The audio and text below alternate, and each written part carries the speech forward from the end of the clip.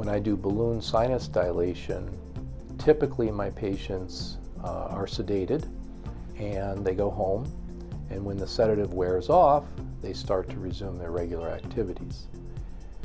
Usually by the next day, they have resumed their regular activities. With endoscopic sinus surgery, we're telling them usually about a week away from their regular activities. That's not to say that people can't go back to work in a few days, but they tend to not be able to do a lot of strenuous activities for at least a week after those procedures.